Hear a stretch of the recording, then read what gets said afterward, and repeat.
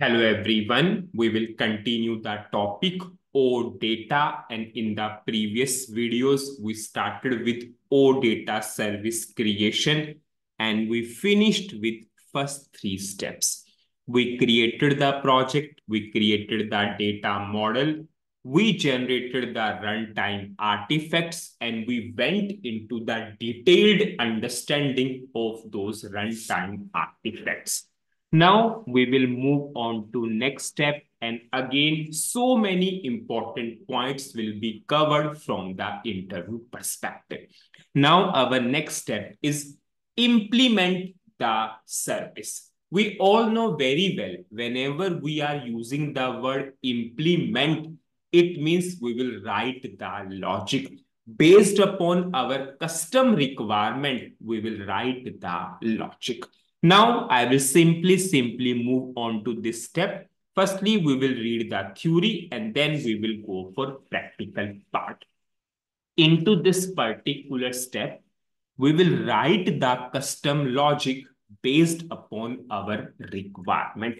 And in the previous videos, we discussed, yes, whenever you want to write the logic, we have data provider class we will not write the code in data provider base class. We will write the code in data provider extension class. And we went into detailed understanding.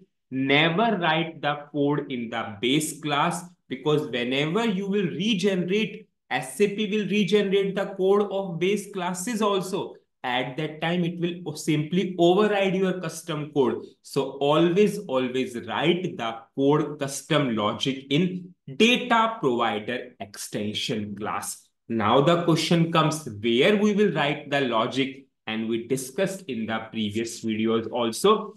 Into this data provider class, we have the various methods. We will write the code into those methods. Suppose if I will go for the system and show you. Now you can see we have service implementation. We'll simply expand this.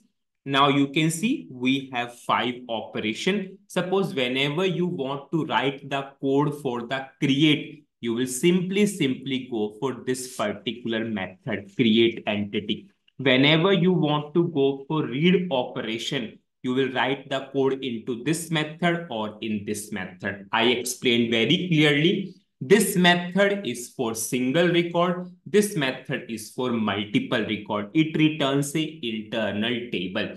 Now, whenever you want to go for delete logic, you will write the logic into this method. Whenever you want to go for update, write the logic into this method. So this is all about our CRUD operation.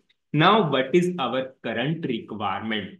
We want to get the data. We want to get the data from VBAK table. So we'll simply go for this method. Why this method? Because we want to go for internal table. We are not going for single sales order. We are going for multiple sales order. So we simply go for this method and write the code. And it is clearly saying go for extension class, data provider extension class.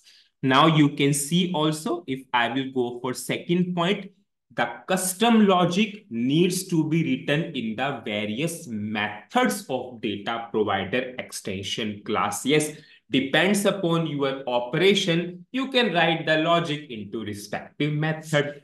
Now, third most important point from the interview perspective, we will redefine the method and then we will write the custom code. By using the redefined word itself, many people understood those who know OOPS concept. Yes, why, why I am saying redefining of method. So I will go for system. I will show you why, why we are redefining. We will write the custom logic into that method. So I will go to SE24 transaction code. I will go to SE24 transaction code and we will simply go for our data provider extension class. I will go to change mode. Now I will simply go for get entity set method. Yes, we need to go for entity set method. You all know entity set is just like internal table. we have this particular method. If I will scroll down, get entity set.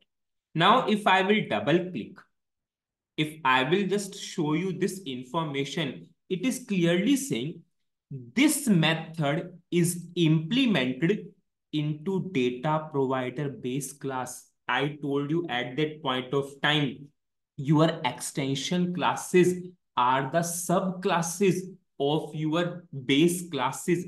So for this particular data provider extension class, what is the superclass? Data provider base class. So this method, whatever the logic is into this particular method, it is automatically deriving from which particular class? Data provider base class. But we need to write our own custom code. If I will go for OK, you can see we are able to see the code. So this method and this code is coming from your data provider base class. Yes, but we want to go for our own custom code. We want to write our own custom logic.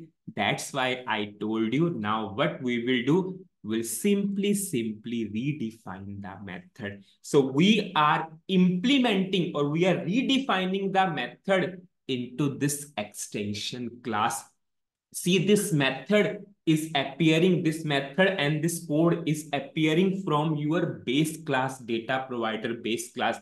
But in data provider extension class you are want to write your own code. It means we need to redefine this particular method. Then we will write our own code. Extremely important point from the interview perspective. So i will now click on to this button. This is undo redefinition here I will go for redefine method. If you want a detailed understanding in ABAP OOPS playlist also as a part of abstract class, I explained this particular method. I explained this particular redefine, sorry.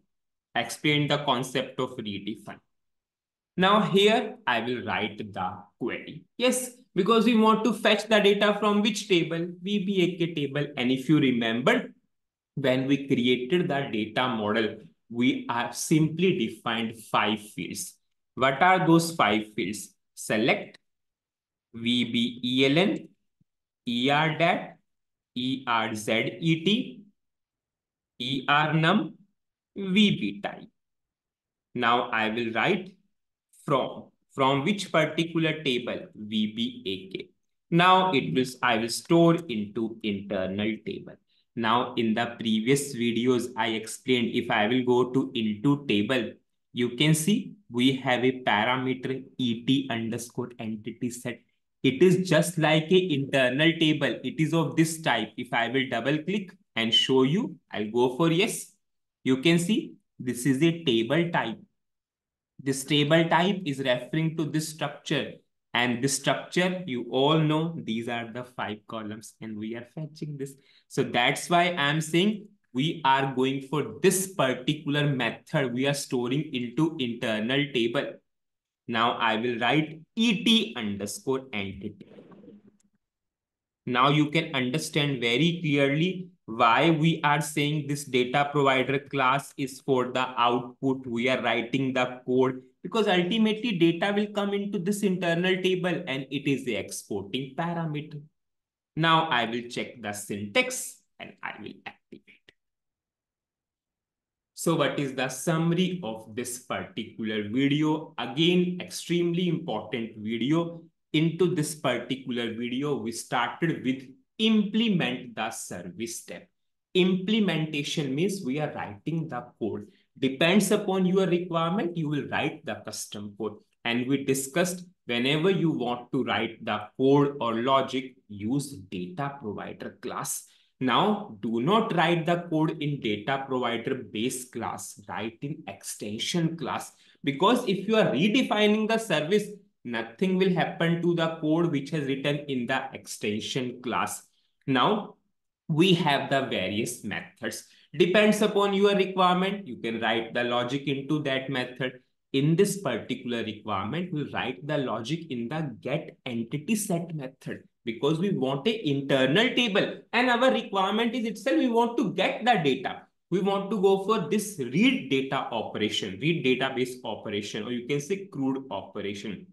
So we simply went to extension class, but when we double clicked onto the method, yes, the logic is automatically coming from the base class, data provider base class, because data provider base class is a super class of our extension class, data provider extension class. So we need to redefine the method and we need to write the custom logic. And we have written the query into this particular method and I simply put the data into this internal table. I showed you this internal table is just like a table type and we have multiple records into this internal table. Now in the uh, next videos, we'll go for further explanations and then we will move on to the next step. So that's it in this video. Thank you.